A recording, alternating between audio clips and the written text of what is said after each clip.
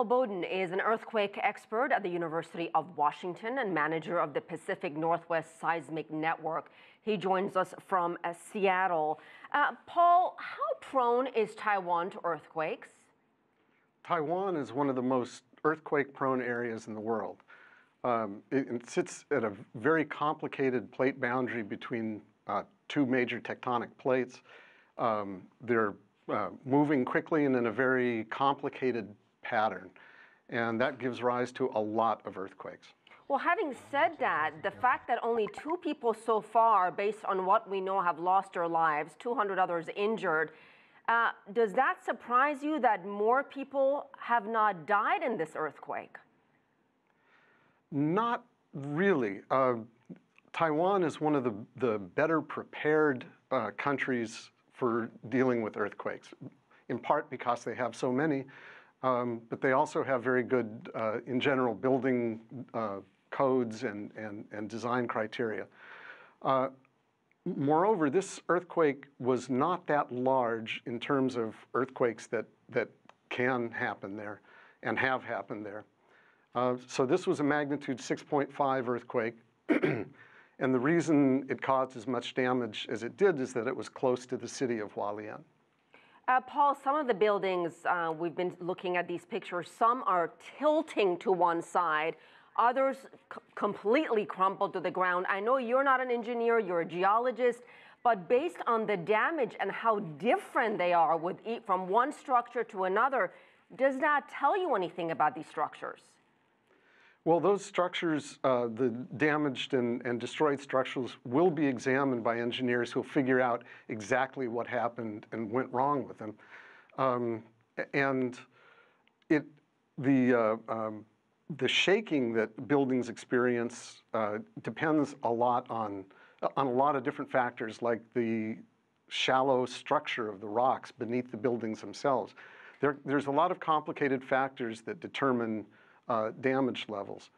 Um, and, and an, an, earthquake like this, it's sad to say, will teach us a lot about uh, what to expect in future earthquakes. And talk to us about the depth of this earthquake. This was a shallow earthquake, so the more shallow the quake, the more destructive.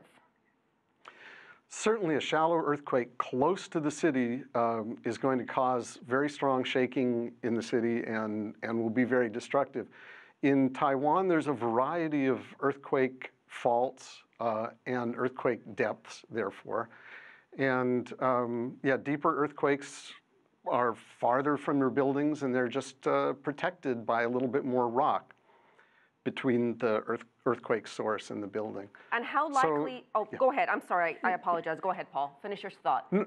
No, I, I, was just going to say that, that, that, a shallow earthquake generally tends to cause uh, much stronger ground shaking, but very close to the source.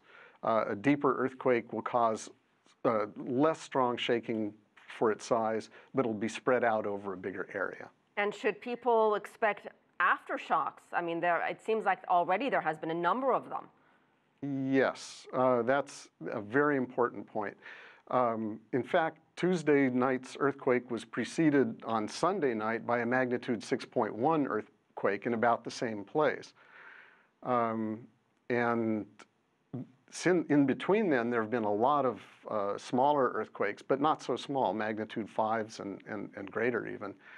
Um, this could continue. One, one, point I'd like to make is that uh, in 1951, um, the, there was a series of very large earthquakes uh, that broke faults in what's called the longitudinal valley, uh, where the city of Hualien is.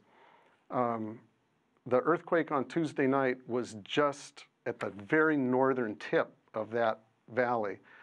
Um, and uh, it's possible that uh, we could see more strong shaking so I think an important message is that you know more more strong earthquakes over a period of time. In 1951, there was a, a couple of weeks of of earthquakes. Um, so people should be prepared for uh, sh shaking. Understood. Paul Bodin, thank you so much.